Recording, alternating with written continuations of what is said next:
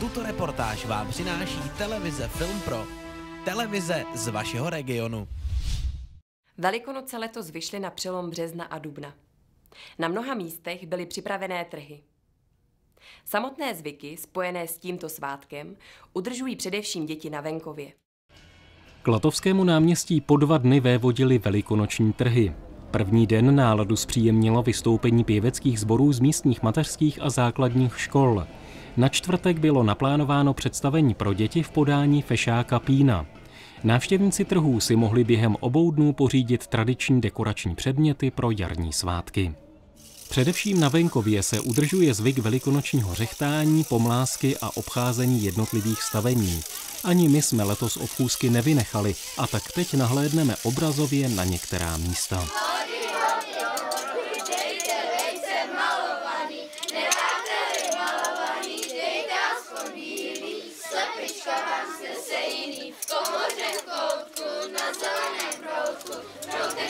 holy last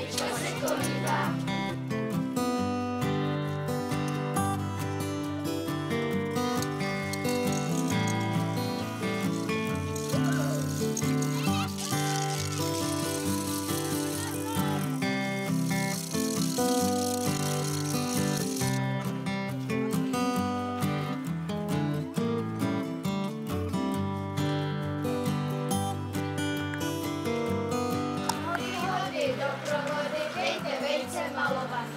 Nedáte-li malovaný, dejte aspoň bílý, slepička vám se sejí.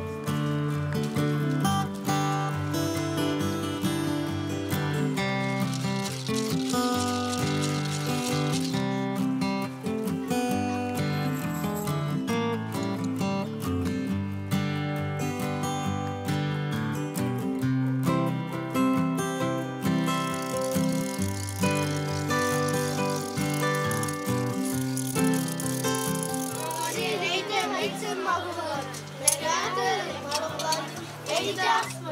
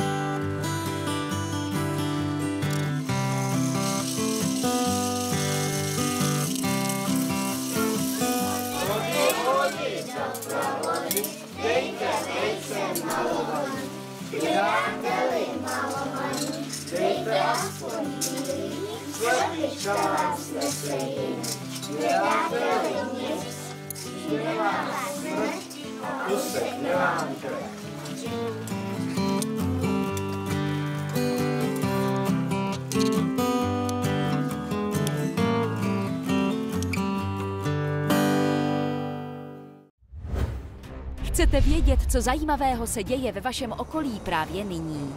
Jsme tu pro vás, vaše televize Film Pro.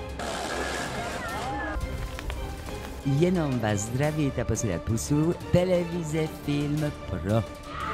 Vysílání je zcela zdarma, snadno ho najdete i na internetu. Sledujte v počítači i mobilním telefonu www.filmpro.cz